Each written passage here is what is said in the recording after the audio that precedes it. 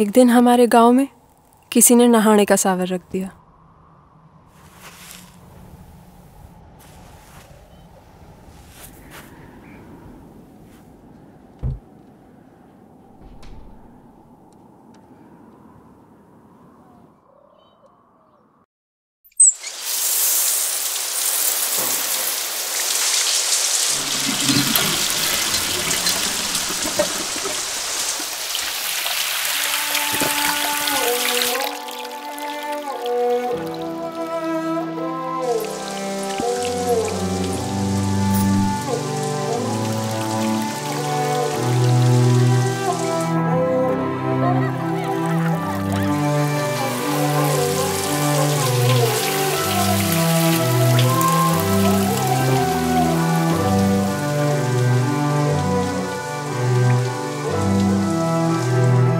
हमारे आधे गाँव ने पानी पी लिया और एक शहर वाले का नहाना अभी खत्म ना हुआ।